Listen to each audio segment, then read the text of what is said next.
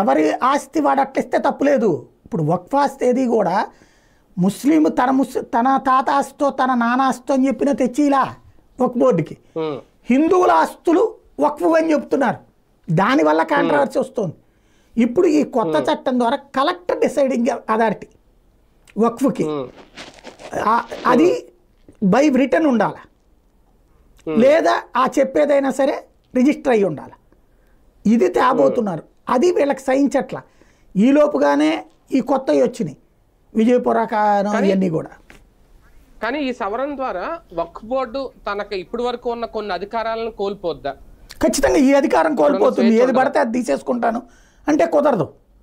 అదే సందర్భంలో తీసుకునేటప్పుడు ఓ సిస్టమ్ అంటే వీళ్ళ చేతిలో ఉన్న పవర్ పోయి కలెక్టర్ దగ్గరికి వెళ్తుంది ఆ పవర్ అది ఇక్కడ పాయింట్ అంటే వీళ్ళకి వీళ్ళు ఫ్రీగా ఖర్చు పెట్టుకోలేరు. ఖర్చు పెట్టుకోవడానికి ఏం అభ్యంతరం లేదు వాళ్ళకి.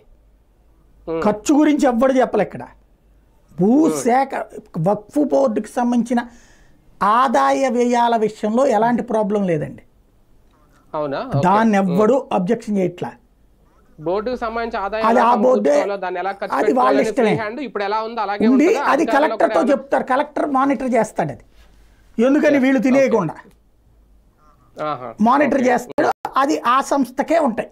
ఆ డబ్బులు ఏ మతానికి వేరే మతానికి వెళ్ళరు లేదా వేరే మతం వాళ్ళకి ఇవ్వరు. ఆ మతానికే ఉంటాయి ఆ వక్ఫ్ సంస్థకే ఉంటాయి.